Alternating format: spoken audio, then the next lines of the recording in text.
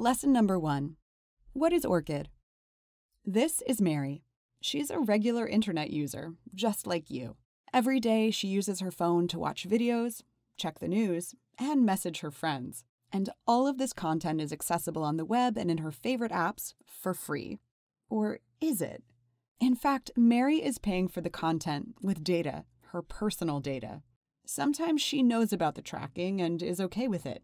Other times she doesn't know about it and is tracked without her consent. While Mary may think her information is safe on her phone, in fact, she's leaving behind a digital data trail. When she uses the internet, her Internet Service Provider, or ISP, can take her information and resell it to advertisers, and she doesn't get a penny. In many cases, cybercriminals and governments can obtain her personal data too.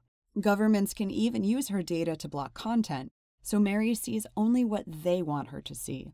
To protect Mary and everyone like her, a group of privacy focused developers created Orchid. Orchid is a new peer to peer privacy tool that includes a VPN and other features to better protect Mary's data and everyone else's too.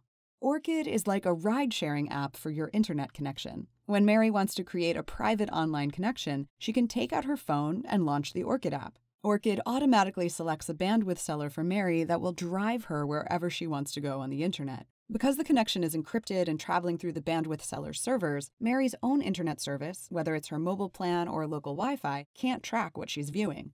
With Orchid, her privacy is protected and her digital data trail is hidden. Mary could use a traditional VPN too, but that's more like hiring a full time driver. A traditional VPN is a single provider that Mary has to trust. While Mary's internet service won't know where she's going online, her VPN will. Some VPNs actually collect Mary's information and sell it to advertisers or share it with government agencies. This is how free VPNs often make money.